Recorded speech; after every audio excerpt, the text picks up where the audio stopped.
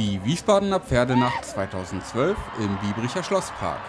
Geboten wurde alles, was das Herz echter Pferdenarren höher schlagen lässt. Dabei mussten nicht nur Pferde Hindernisse überwinden. Äh, das ist auch Sprung ohne Pferde. Die Horseman-Team. Das ist eine neue Sport aus Frankreich, aber wir haben das äh, in 1999 äh, äh, anfangen.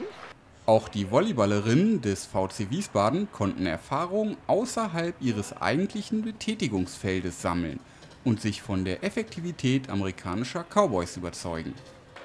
Und es ist schon sehr beeindruckend. Also wir sind schon schnell als Sportler, aber zu sehen, wie schnell diese, diese Pferde die, den Rhythmus wechseln können, zu schnell stoppen, das ist sehr beeindruckend und es ist sehr anstrengend. Sie hören das.